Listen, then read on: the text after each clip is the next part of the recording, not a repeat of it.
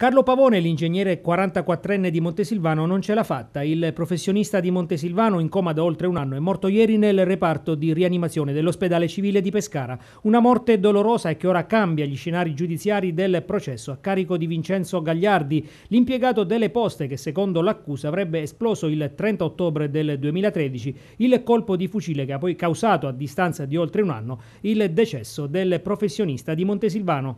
Ora i fratelli di Carlo Pavone chiedono di conoscere conoscere la verità e il nome del responsabile, pronta la costituzione di parte civile con una richiesta di risarcimento. Tecnicamente, processualmente adesso cambiano gli scenari, nel senso che la qualificazione giuridica del fatto sarà modificata inevitabilmente e quindi il, la fattispecie che sarà, che sarà contestata all'indagato, all'imputato anzi, sarà quella di omicidio volontario premeditato, a differenza del tentativo che fino all'altro ieri era la contestazione, per cui eh, l'indagato è in custodia cautelare in carcere.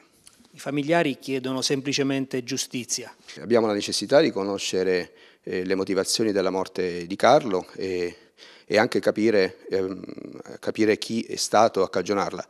Eh, sappiamo però che la Procura della Repubblica di Pescara e gli inquirenti hanno fatto un grande lavoro e conseguentemente attendiamo di poterlo poi eh, valutare in sede processuale. Ovviamente ci costituiremo parte civile e lo dobbiamo fare per stare nel processo.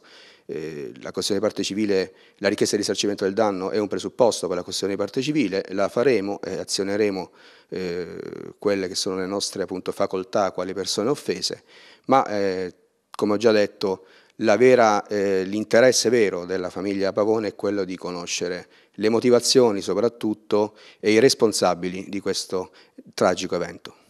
Che lei sappia ci sarà eh, l'autopsia sul corpo del povero ingegnere?